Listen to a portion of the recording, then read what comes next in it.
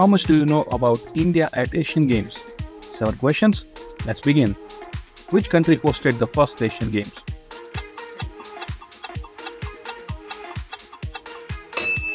India in New Delhi 1951.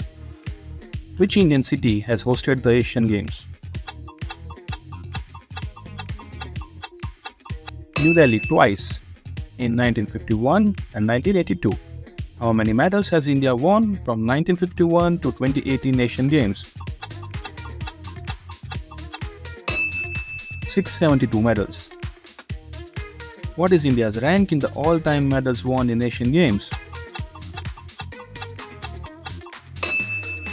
Fifth. Who became India's first gold medalist at the Asian Games? Swimmer Sachin Nag won the 100 meter freestyle. Who is the most successful Indian athlete at the Asian Games?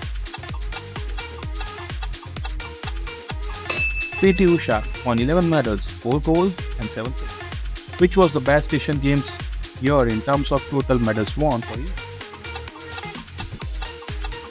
2018 in Jakarta, India won 70 medals. Thank you for quizzing. Please subscribe. Comment how many medals will India win at the upcoming Asian Games.